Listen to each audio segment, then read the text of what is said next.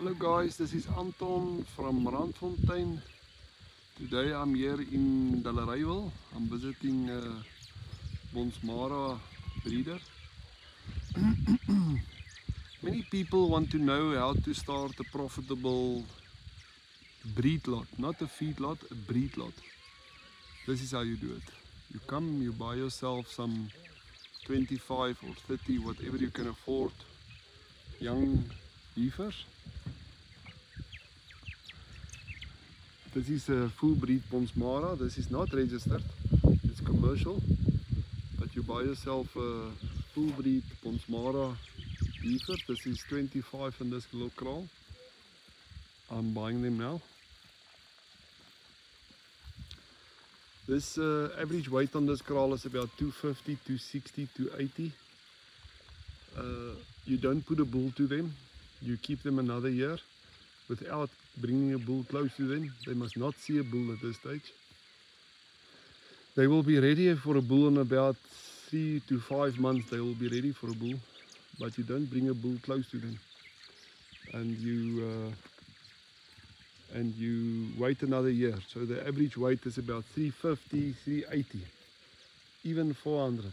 But 350 you can add a bull and then you must look after it, especially in its first year because it is still growing. The actual heifer continue to grow till about 450, 420, 450, 500. You can still grow. But uh, especially in the first calf, you have to look after them, give them proper food, give them uh, proper feed, proper grass. Don't let them suffer in the first year, so they can grow all the way to their to their full to full size. Now if you look at this calves, look the distance between the nose and the eyes. That's the most important part. Look the one there behind the gate. You see the nose is short. Look the one here in front of the gate, this one. The nose is short. And when you buy female cattle, it's important to buy a female cattle. So you want to look for feminine characteristics. You want to look for something that uh, that the bull do not have. So you don't want big shoulders here, you don't want all the bull-like characteristics. You want female characteristics. They must look like a woman. They must be... Uh, and then the other thing you must look at is this, the actual size of the body and the length of the legs.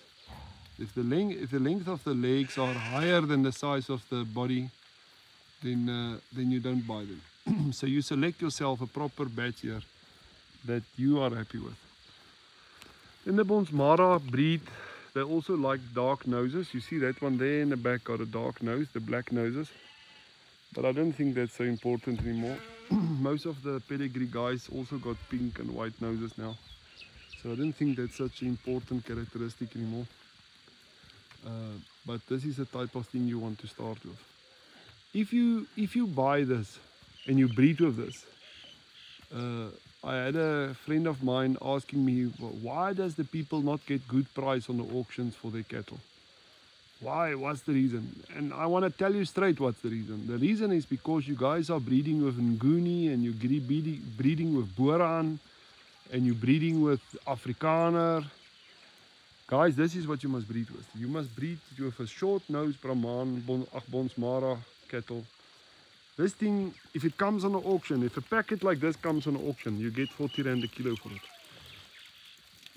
Everybody will will fight for this. Any feedlot will fight for this. This is what they want. So you you buy, you pay a pedigree price the first time. This this uh, farmer want 43 rand a kilo for this cattle, including that. you pay that once. So if you pay that once, you get from this cow 10 to 12 babies in his lifetime. After 12 babies, this cow, this cow weigh 500 and you sell this cattle again and you get all your money back and you waste that same money back in a new calf.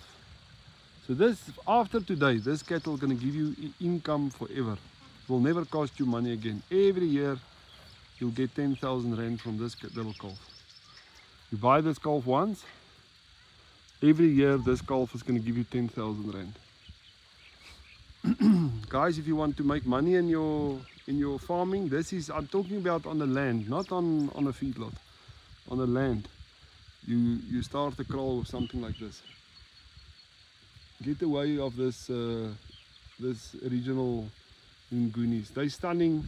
The advantage of a Nguni is they're strong on the dry veld. If there's no grass, they can still survive. Ponsmara can also survive. They got Ponsmaras in Namibia, they got Ponsmaras in the north, northern Cape. They all survive. survive so Ponsmara is a very tough, tough breed. breed. and it's very strong against sickness as well. It doesn't die easily of sicknesses. This is really, to my opinion, the best breed for South African use there is. But this is how you start. Uh, this is how you start uh, farming lot. You can have this lot, you put, uh, you wait a whole year. You put a bull. Uh, you, that bull will make them all pregnant, and after one year you got 50. After another year you're gonna have uh, 100, and then you got a got a lot uh, it's important that that bull that you put in here must not come to these daughters. So the second that you got uh, daughters that come out of this lot, you must change the bull. So a bull like that can really only work two years. You cannot on the third year you want to get to his own daughters and you must prevent that. So you must get a chomi that also got a nice Bonsmara bull and after uh, two years you'll change your bulls. So with that guy and you got fresh uh, bloodline coming into your cattle again very important this is what you look for guys then you will be profitable. Thank you so much. Thank you for the new subscribers on youtube. Guys if you do not subscribe on youtube please go to youtube. There's a lot more videos there than on the other channels on tiktok and on all the other pages. Thanks so much